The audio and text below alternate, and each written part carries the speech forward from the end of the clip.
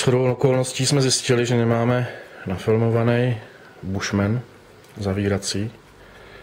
S tím jeho je potřeba má tu vlastně pojistku i při otevření.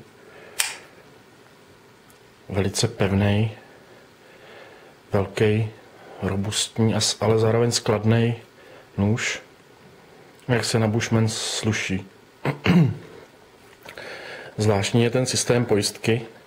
Mně se to tady opravdu špatně dělá. Nerad bych se fiknul. Takže tady to povytáhnout a zavřít. A to vidět.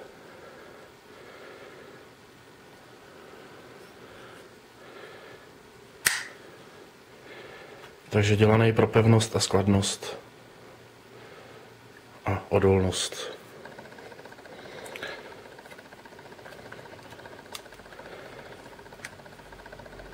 Určitě na to existuje nějaký grif, který se dá naučit na to zavírání.